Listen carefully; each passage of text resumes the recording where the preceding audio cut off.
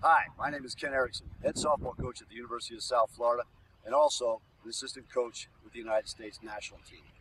Short training bats have been around for a long time, but the radial bat has now come up with a system that makes you feel like you're really throwing the bat hit to the ball. There's uh, lengths of 25 uh, inches and lengths of 22 inches and lengths of 20 inches.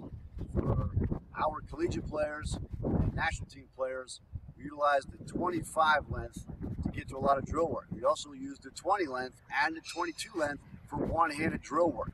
This training bat, I believe, will help you feel what is really necessary to be able to get the bat hit to the ball without utilizing extra body movement.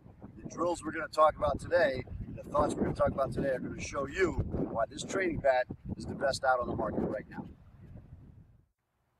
The first set of drills that we do are one-handed drills or front arm drills with the 20-inch length bat. We do this for control.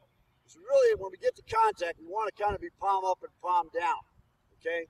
With your lead arm being palm down and your back arm being palm up, and making sure that we're able to get on plane. But to make sure that the front arm is really the leader, the fast speed part of our, of our approach to hitting. Okay? And this is the drill that we look at right now. Carmelo is just going to try to get to contact and not pass. Position. If you hold it there, we're seeing that our potential for power is still there. We don't want to be rolled over.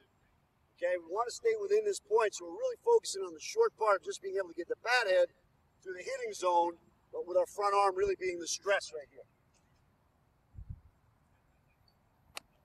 If you notice the movement in the lower part of the body, very subtle.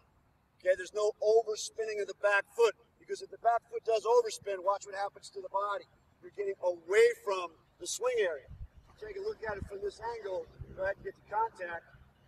You're right inside the ball with your hand. And the short training bat keeps you inside. Okay, but if you were to over rotate the back foot, you're going to be taking away from the hitting zone. If you over rotate the lower part of your body, the upper part gets over rotated. You get away from the outside part of the plate.